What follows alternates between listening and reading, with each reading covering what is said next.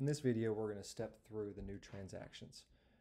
We've already created our store, set up the store details, added a vendor, and now we're ready to make a sale. This will be the first page you see when you log into Quail, and it works just like writing it down on a paper receipt. You'll work left to right. First, when a customer brings up an item to be sold, you want to enter the booth number. We entered this as A1 in a previous video. A short description, whether it's um, something you name it or it's off the tag.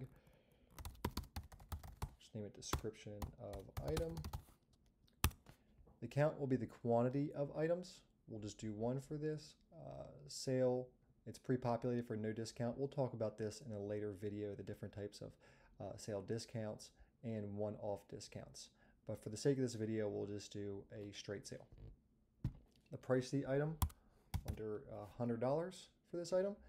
And you'll see over here in the totals, we'll have $100 plus the uh, effective tax rate.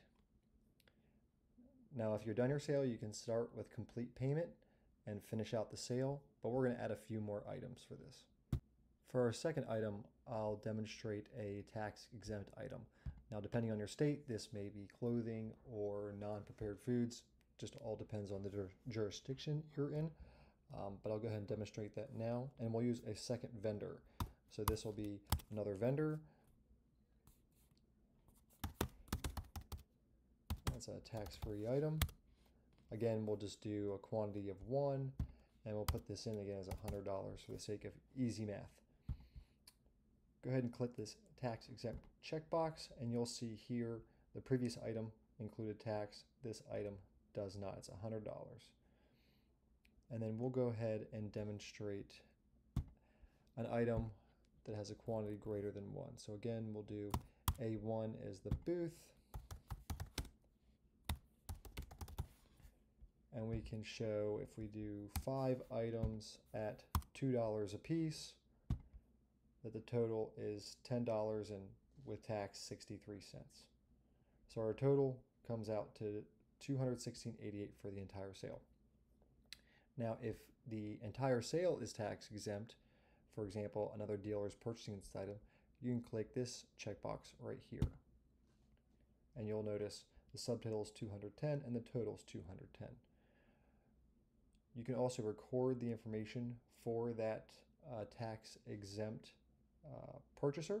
We'll talk about that in a later video.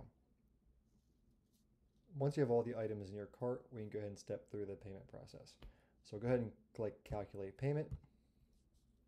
Here you see the total and it defaults to a full payment in a uh, payment method of cash. You can change this preferred payment method in your settings and we'll talk about this in a different video when we go through the different uh, settings you can change with your store.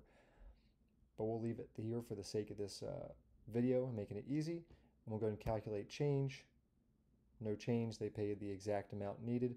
You can always edit this value, say $220, calculate change, and you'll see that you owe them $3.12. And once you're ready to complete the transaction, you click finalize, and it will complete the transaction for you.